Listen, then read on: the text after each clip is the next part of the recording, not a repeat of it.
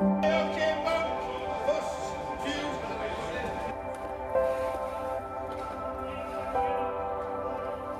huge challenges coming down the road for, for the fishing industry.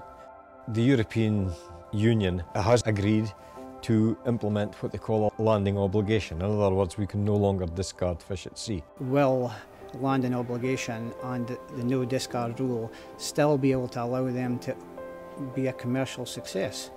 Right now, um, with so much uncertainty, I think that is a real concern and a real worry. What we've got to do is be able to make the change from what we're doing now to the new system, but in a manner that we can all get there but still remain vibrant, economical and keep the community strong.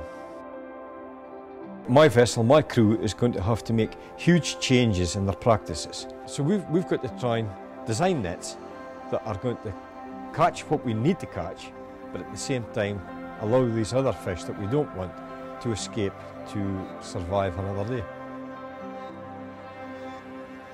What can we do to tick the boxes that keeps everybody happy, keeps me happy, keeps my, my crew and, my, and their families happy, but also keeps the seas sustainable for the next generation fishermen. We have been in partnership with Jimmy Buchan from the Amity on a particular trawl for uh, prawn fisheries. I think there is options in that particular fishery to be able to be highly selective at the mouth of the trawl by designing trawls that are standing low in the, the water column.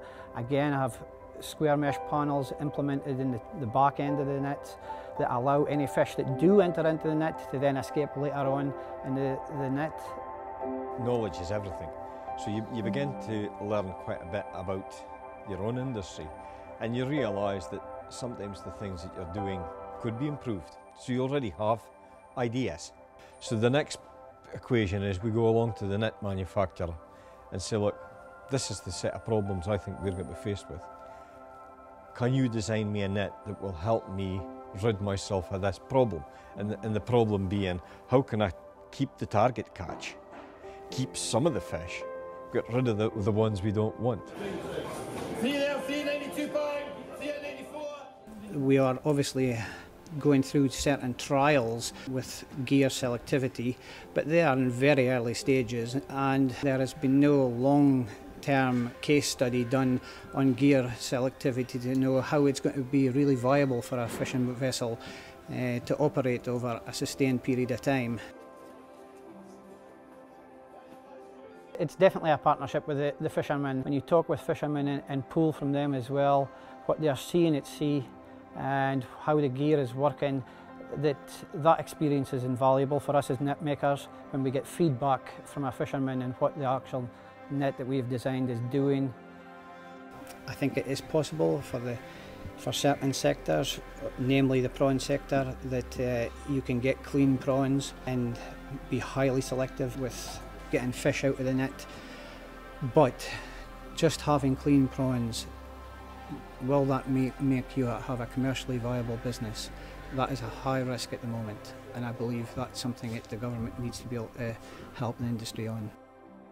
I think switching to, to selective gear, one or two things, is it's going to be probably no longer acceptable to be discarding fish. So we've got to find a solution, but also we've, we've got to try and look for the positive and the negative. The, in this case, we've got to try and get a better return for the, the, the catch we do retain. And if it's in better condition, because it hasn't been disturbed with other fish. And so there, there are learning things that we can do to improve the quality of the catch. And therefore, if we can, the part that we're losing can be supplemented by an, an increase in return on the, on the, the fish we are keeping, then we're, we're, we're a good place.